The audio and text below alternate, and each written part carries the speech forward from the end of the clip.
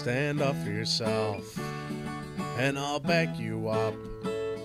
These problems don't solve themselves. I'll tell you what, instead of would or could, I think you should draw a line in the sand and stand your ground. It's for your own good.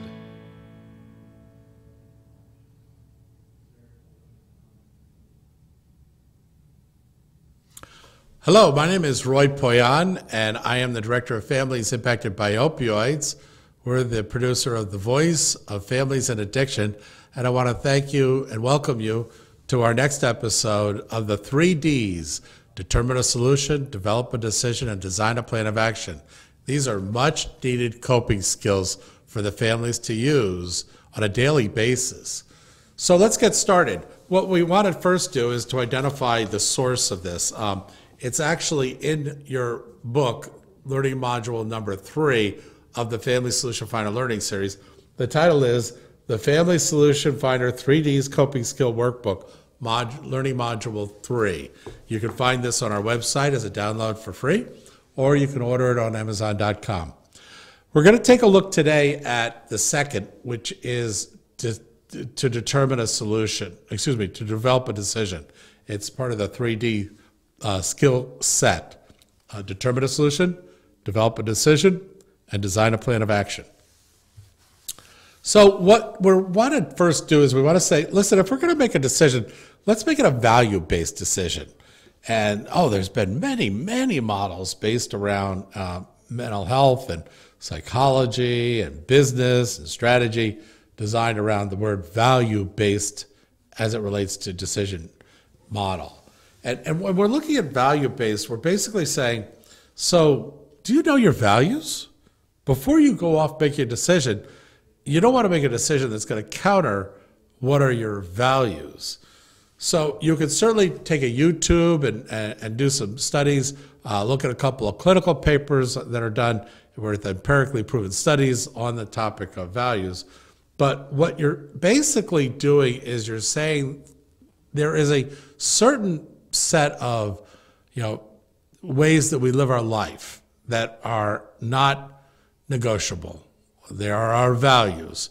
And when we're going to take away from them, we want to do it consciously. We want to know that we are taking away from our values in order to make this decision in how we're going to respond. You, you don't want to compromise your values in a decision and then hate the decision when really it was the compromising of your values that you hated and you just did it without really calculating how much of a hit against us was that. So I hope that there's some clarity, some clarity in that. But that really is the, one of the first things you, you want to do as a family overall. And the way that you do that is you sit as a family and you get out a piece of paper and you say, okay, I want everybody to write down the top three things that they most value that are not negotiable that you feel are important. You could find love and honesty and you know open communication. These are all values, uh, trust, uh, and then ask each person to read off theirs. And where you find that everybody is kind of coming up with the same one, it might be love. Then you know that that's a family value because everybody in the family sees that as being one of their top threes. And then you might find some others, uh, maybe not, in terms of the other two. So what I'd like you to then do is start to take a look on page 61 of the uh, learn, learning module number three, and, and you'll see that um, the first step in developing a decision is to identify exactly what happened. Now, this isn't like a reiteration of all your emotions. Leave your emotions out of it. What happened? How did it happen? Exactly how did it happen? And who was involved? And when you do that, write it down. One, two, three. What happened? How did it happen? And who was involved? And we outline that for you in this on this page uh, in the book. So the second step is now let's analyze the situation that this all happened because you're addressing typically a situation or a problem or an issue when you're making a decision. So accept, accessing the, the, the problem means you need to be able to describe what's happening that's not working. Remember, before we wrote out what's happening. Now we're writing out what's happening that's not working. Okay? And then and, and the next one is now identify what is causing this not to work. What's causing this not to work? Remember, you're analyzing the situation in step number two. And then in the next area, you're going to start to say, in what areas did this create an impact or a disruption? Well, I mean, if it happened and it's not a problem, then we don't really, why are we making a decision? Obviously, something happened in a way that it's impacting and creating a disruption, or it didn't turn out the way we wanted it to. The third step is what's the number one contributing factor that's making this thing happen that's not working correctly for you? What is the number one contributing factor? Okay, well let's let's just stop. Let's say let's go back. What was number one? Exactly what happened. What did happen? How did it happen? Who did it happen to? Step number two, eh, describe exactly what's not working and then identify what's causing it to happen. And then in number three, in what areas did this create an impact? Okay, it, it impacted you know his work, it impacted our family, it impacted his church life, his social sphere. You know, there's a whole bunch of things. His finances. Okay, so then you're saying in the third step, what is the number one contributing factor that's creating this thing not to work well?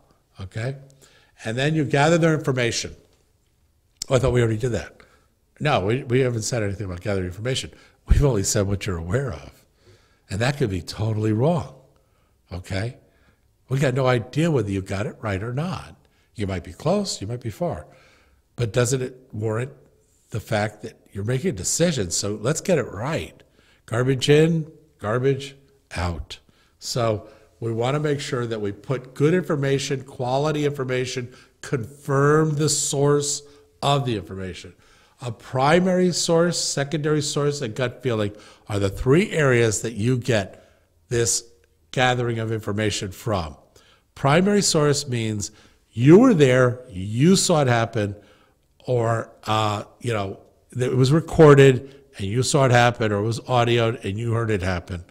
The secondary source is basically somebody has told you this is what has happened, and they're telling you from their perspective, with their bias and their filter system, this is how they saw it happen. Okay, a little bit less reliable, a lot of a lot of things contributing to that that aren't you know clean, totally clean, but okay. Then there is the gut feeling. Trust your gut. Oh boy, do I hate colloquials, but th- this one seems to work. So in that regard, trust what you feel. By the way, that's also a time that you pray and you let God, with the Holy Spirit, help to guide you in what you are understanding and thinking. Don't disregard that. Always leave yourself available for a higher power to influence your decisions. This is the area that you do that in. It's in the gathering information stage. Okay? So now we'll go to the, the, the fourth step, and, and that's basically um, taking a look at uh, what, what is the criteria? We want to create a criteria. So, will this information ensure safety for your loved one? Do you have the resources needed to complete these tasks? Is your timeline realistic? Do you understand the negative impacts of your actions may create? And what would you want others to do if they were making this decision on your behalf? And then the, the sixth step in the decision making process is choose the best solution for this decision so that you can then act on it. And we'll talk about acting in the third coping skill, which is uh, to uh, design a plan of action, develop a, determine a solution, develop a decision, and design a plan of action. You see, um, we we could just give you this information about these learning seminars, and that's what most people do. They'll, they'll sit there and they'll say, "Oh yeah, come to our seminar, we're going to show you, uh, you know, exactly how to, uh, you know, do peer-to-peer coaching and and how to include a peer-to-peer coach." And okay, thanks a lot. Donuts in the back. Questions if you want. Um, we appreciate your listening to our 27 slides in an hour and 30 minutes. And um, good luck. That's not what we're doing here. We're doing pretty much that, but we're also saying, slow down. You're not going anywhere. Now you need to determine a solution, develop a decision, design a plan of action because you're not empowered yet. Let's face it, you knowing about an issue, that, that and a nickel will get you a cone of ice cream. So that, that doesn't get you far. It doesn't get you far enough. You're still in the middle of it. Until you can act on it, then you're empowered. But you don't have empowerment until you can get others involved in what you're doing to help you do it even better. And that comes in the next of your coping skills, which is for you to design a plan of action. So let's get real. Having a decision making model, and by the way, corporate America uses this. I use this. When I was in the artillery as a captain, I would be in a personnel armored vehicle. I would have four antennas out of the top. I'd have a handset in each hand and one strap to each side of my uh, chin strap. So I'd have four handsets attached to me. I had the infantry on one, the tanks on another. I had the commander back at, at the battery with the guns 18 miles behind me. And I had a corporal sitting there with a map showing me exactly where these elements were that were requesting artillery. You want to talk about making decisions? There's a lot of scenarios that we make decisions in in our lives. And I just want you to know as often as possible, we use this kind of model, although a lot faster in those scenarios, but just the same. Quality decisions are made from a quality process. Get used to using a quality process, and you will find yourself making quality decisions. God bless you in your journey and all the decisions that you will make. I want to thank you. Once again, my name is Roy Poyan. I'm a chemical dependency counselor licensed in the state of Ohio and a certified mental health coach. If you need to, give me a call, 440-385-7605. Have already completed this decision-making model, and we'll go through it together with you, just in case you want to get it right. Okay, I want to basically say to you that this is not easy, and it's going to get a lot more difficult if you don't have refined and have a successful you know, way of dealing with issues that determine a solution, develop a decision, design a plan of action will put you on that course. Thank you very much.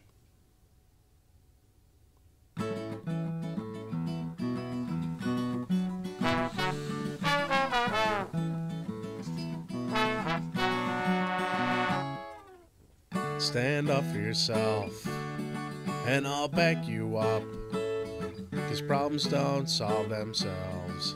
I'll tell you what, instead of would or could, I think you should draw a line in the sand and stand your ground. It's for your own good.